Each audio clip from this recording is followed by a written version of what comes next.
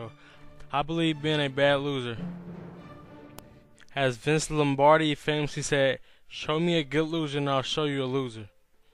When most kids were wearing Ninja Turtle pajamas, I was putting on a football uniform. If a football game came on TV, I was like an addict with his dealer. At the end, I knew every play and every player. Lombardi also says, Football is like life. It requires perseverance, self-denial, hard work, sacrifice, dedication, and respect for authority.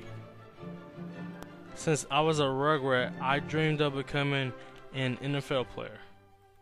The players from college and the NFL inspired me to chase my dream to become a professional player on the field of football and life. I remember the day I learned about the importance of being a bad loser.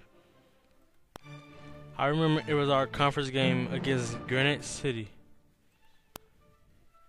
They're a tough team, so we had to come out and play tougher.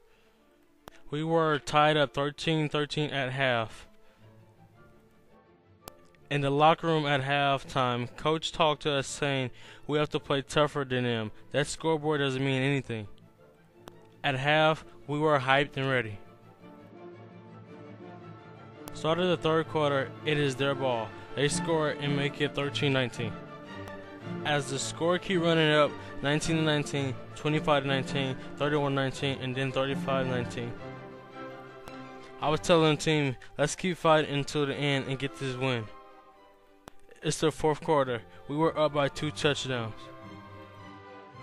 We won our important conference game. Since that day on a field of football and a field of life, we showed teams who's the bad mm-hmm. loser. I decided winning was the only choice. Everyone should feel this way. The key to success is being a bad loser. Vince would high five that.